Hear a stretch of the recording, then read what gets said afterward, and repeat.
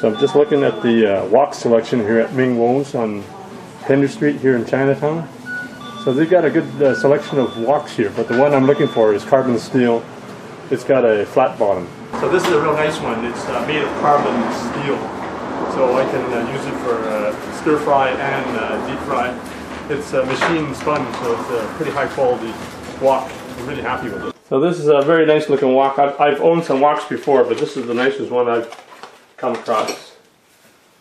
So as you can see, this wok uh, is evenly uh, centered. It's got a nice uh, flat bottom, so you can cook on an electric stove. It's uh, sturdy. It's got a nice handle, and the actually has two handles, one for carrying and one for flipping things. You can deep fry in it as well. So this wok has a coat of uh, oil around it, so you need to uh, scrub that off. So put a little bit of uh, dishwashing liquid in there. I take a steel wool, here. Steel wool will clean off the uh, coating. This is a carbon steel wok, so it's uh, excellent for uh, gas stoves. It can also be used on induction stoves and also electric stoves. So just rinse that off.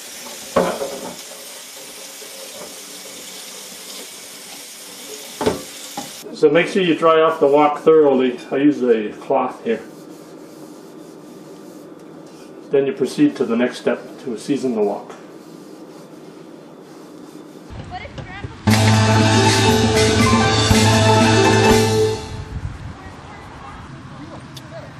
So I'm just uh, conditioning the wok right now. I uh, put it on high heat. There's actually only one heat. So when it uh, changes to a sort of a bluish type color, I can uh, move the wok around. So I'll get another part of the surface going. Hello. Hi. Uh, seasoning the wok. Uh, I can't do it inside, so I have to do it outside.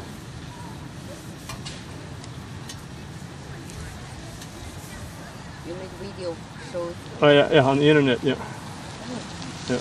Chinese Canadian Roots TV. So I use this uh, portable.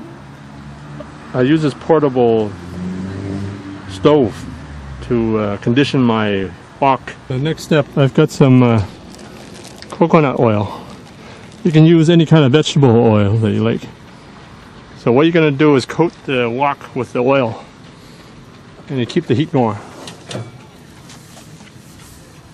So I got the wok going now, so just giving it a good uh, uh, coating of uh, grease here, of uh, coconut oil.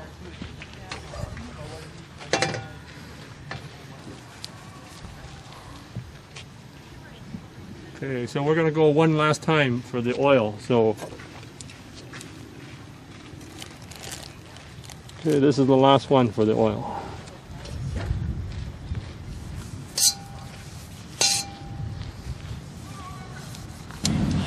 So we get this uh, brown coating that comes off, brown or black. So you're supposed to do it three times according to instructions.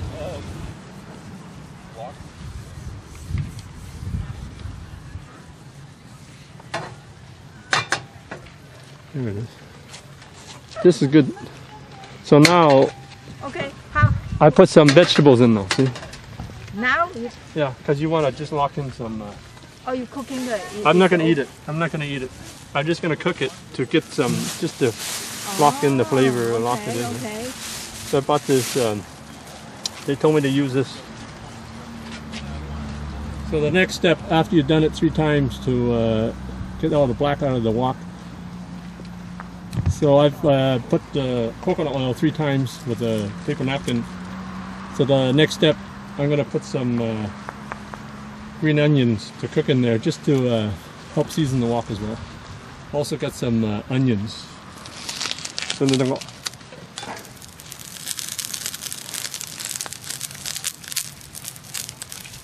We'll put uh, two batches again.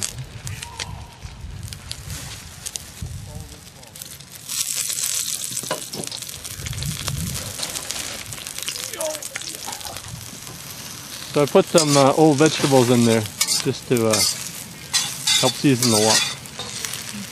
So just go like that. It's gonna go on the side.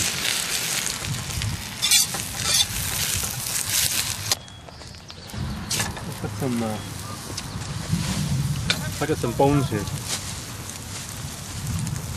Let's put some bones in there. Two dollars. So I cooked the pork neck bones in the wok, so that helps to season the wok. This coconut oil works really well because it has a high heat uh, capacity, so it doesn't burn. So this is what the beach looks like after I finish seasoning my wok. Right now, not too many people on the beach, but uh, some still walking around. See the ship in the distance. And then you see the city in the background there.